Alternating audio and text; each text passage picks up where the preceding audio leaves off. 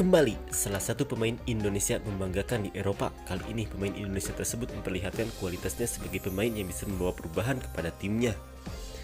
Gelandang Indonesia bernama Kelana Mahesa sukses membawa timnya meraih kemenangan, walaupun dirinya masuk sebagai pemain pengganti. Sebagai informasi, Kelana Mahesa ini merupakan salah satu pemain Indonesia yang sempat memperkuat timnas Indonesia U19. Saat itu, dirinya dipanggil Sintayong dalam pemusatan latihan di Kroasia. Tim ini juga merupakan proyeksi untuk Piala Dunia U20 saat itu. Namun sayangnya perhelatan tersebut harus diundur dan semenjak itu Kelana tidak pernah mendapat panggilan lagi ke timnas Indonesia. Namun sekarang Kelana semakin mendapat kepercayaan di timnya dan semakin menunjukkan peningkatan signifikan pada karirnya walaupun harus memulai dari divisi bawah Liga Jerman. Di laga SPVG Freken melawan FC Hurt, Kelana Mahesa turun di babak kedua tepatnya pada menit ke-70.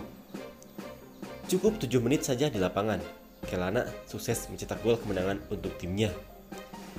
Berawal dari situasi free kick, Kelana berhasil meneruskan umpan lambung kannya itu, sekaligus ini menjadi gol perdananya musim ini di Liga Jerman.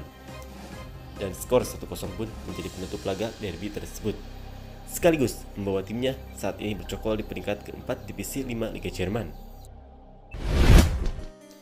Menariknya, ini merupakan laga ke-11 Kelana Mahesa bersama timnya.